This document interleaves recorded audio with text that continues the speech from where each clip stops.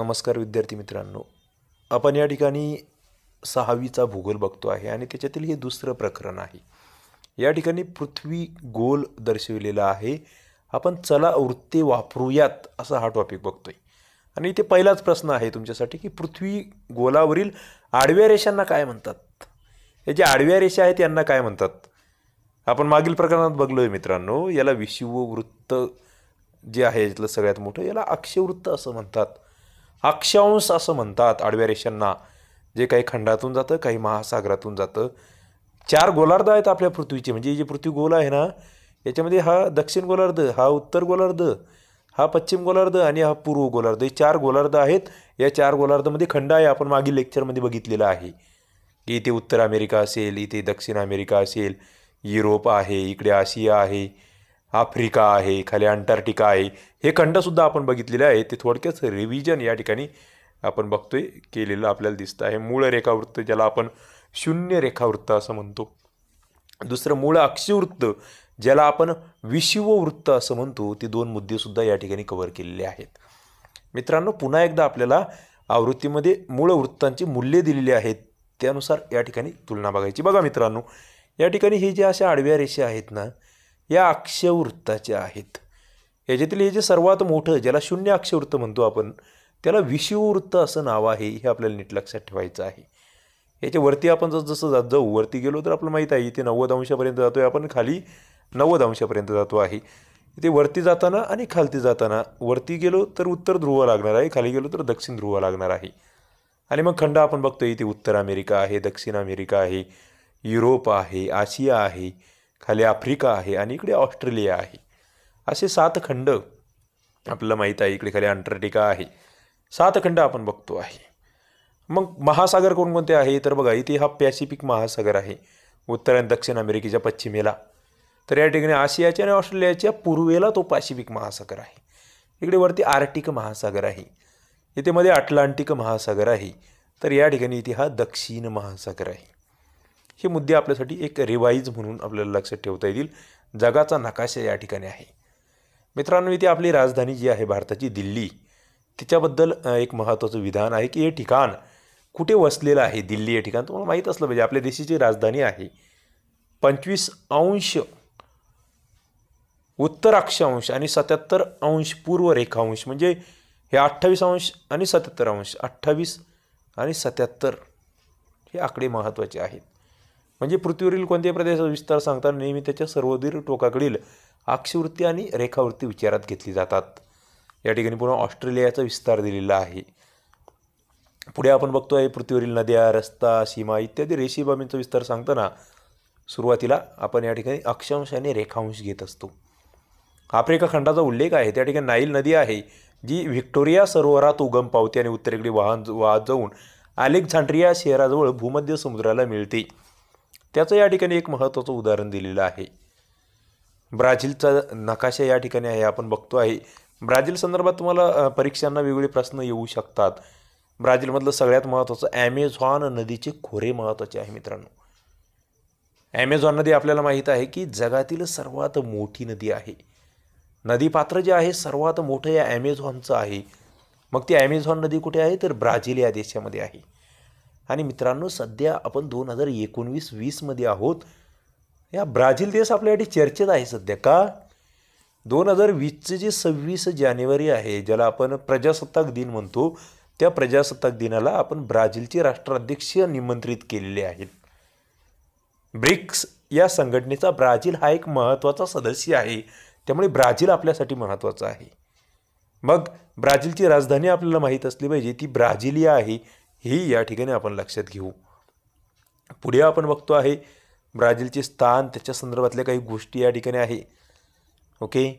त्यानंतर आपण पुढे वृत्ते वापरूयात असं या ठिकाणी म्हटलं गेलं आहे आणि त्यातलं सगळ्यात महत्त्वाचं मित्रांनो अत्यंत परीक्षाभिमुख. म्हणजे जे सहावीचे विद्यार्थी मित्र असतील त्यांच्यासाठी तर आहेच. पण जे एम पी एस सी करणारे स्पर्धा परीक्षा करणारे विद्यार्थी मित्र आहेत त्यांच्यासाठी हा तक्ता फार महत्त्वाचा आहे. आपण समजून घेऊया. बघा तुम्हाला मी बोललो आहे की जे आडव्या रेषा आहेत त्यांना आपण अक्षवृत्त म्हणतो. आणि यातली ही जी सगळ्यात मोठी लांबी रेषा आहे तिला आपण विषुववृत्त म्हणतो. शून्य अंश अक्षवृत्ताला आपण विषुववृत्त म्हणत असतो हे लक्षात ठेवा. या विषुववृत्तापासून आपण उत्तरेकडे जाऊ किंवा दक्षिणेकडे जाऊ? उत्तरेकडे आपण साडेतेवीस अंश उत्तरेवर गेलो की ते जे अक्षवृत्त असतं साडेतेवीस अंशावरील त्याला कर्कवृत्त म्हटलं जातं. हे बघा तेवीस अंश तीन मिनिट असा याचा तेवीस अंश तीन मिनिट उत्तर अक्षवृत्त असं याचं वाचन तुम्हाला करावं लागेल. तर आपण दक्षिणेला तितक्याच अंतरावर गेलो साडेतेवीस अंशावर की तेवीस अंश तीस मिनिट दक्षिण अक्षवृत्त ज्याला मकर वृत्त म्हणतो. मित्रांनो कर्कवृत्त साडेतेवीस अंश उत्तरेला आणि मकरवृत्त साडेतेवीस अंश दक्षिणेला. हे जे कर्कवृत्त आहे ना मित्रांनो हे भारतामध्ये या ठिकाणी तुम्हाला जर बघत असाल तुम्ही इथे हा भारत देश बघा. या भारत देशामध्ये आठ राज्यातून हे कर्कवृत्त गेलेलं आहे यावर वारंवार प्रश्न विचारले गेलेला आहे म्हणजे तुम्हाला कळतंय हा जो इथे जो आहे हा विषुवृत्ताचा भाग भारत हा विषुवृत्ताच्या वरती आहे. म्हणजे भारत उत्तर गोलार्धात आहे हा मुद्दा तुम्हाला या ठिकाणी समजलेला आहे. मग कर्कवृत्त आणि मकरवृत्त आपण बघितलं यानंतर आपण पुढे जातो. एकशे ऐंशी अंशापर्यंत आपण जातो. या ठिकाणी एक सहासष्ट अंशाचं अंतर आहे इथे.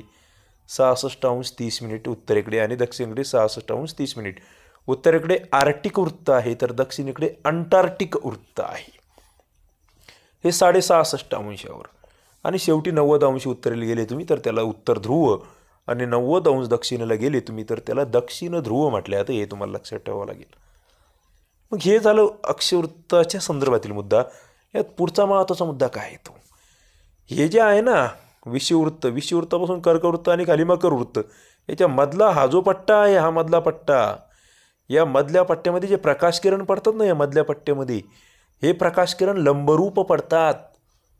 म्हणजे या ठिकाणी सूर्य डायरेक्ट इथून सर्वात जास्त तीव्र प्रकाश सूर्य या ठिकाणी देत असतो. हे सगळे लंबरूप प्रकाश पडणारं हे क्षेत्र आहे. ओके? दुसरा मुद्दा या तेवीस साडेतेवीस अंश उत्तर आणि दक्षिणेपासून म्हणजे थोडक्यात कर्कवृत्त आणि मकर वृत्तापासून ते पुढे हे साडेसहासष्ट अंशापर्यंत.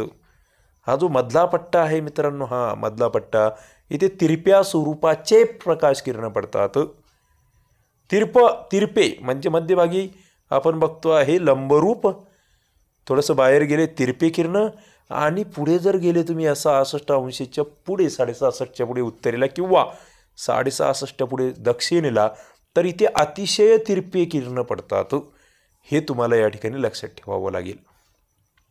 पुढे आपण बघतो आहे विषुवृत्तापासून साडेतेवीस अंश उत्तर व साडेतेवीस अंश दक्षिण अक्षवृत्तादरम्यान भागातील सूर्यकिरण जे असतात ते वर्षात दोन दिवस लंबरूप पडतात.